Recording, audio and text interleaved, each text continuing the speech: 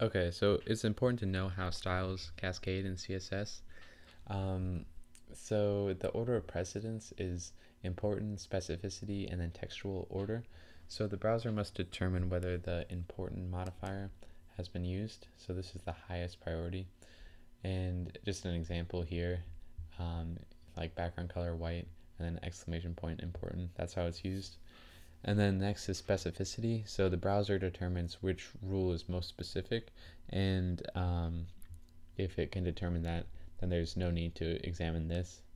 But otherwise, uh, the browser determines the textual order of the style, um, where the last style rule in textual order has precedence over prior style rules.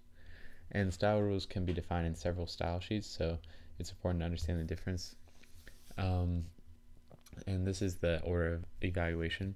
So each browser has a built-in style sheet, and then the user can uh, declare, you know, customize uh, style sheets in within the browser, and then the author of the website has their normal declarations, and then they have their important declarations that can override these, and then the last um, factor is the user's important declarations in the user style sheet can override everything.